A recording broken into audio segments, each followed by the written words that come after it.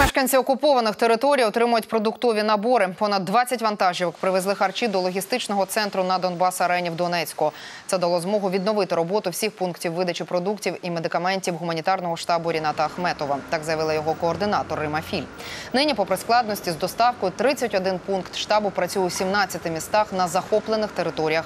Там люди отримують пакети з найнеобхіднішими продуктами, розрахованими на місяць життя. Окрім цих пунктів, штаб організував пересувні мобільні бригади, які лише за липень доставили продуктові набори в 100 найвіддаленіших населених пунктів, чимало з яких фактично на лінії зіткнення.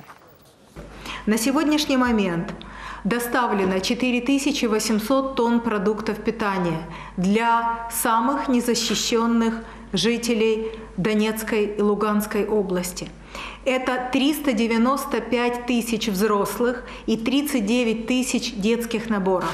Мы называем эти наборы наборами выживания.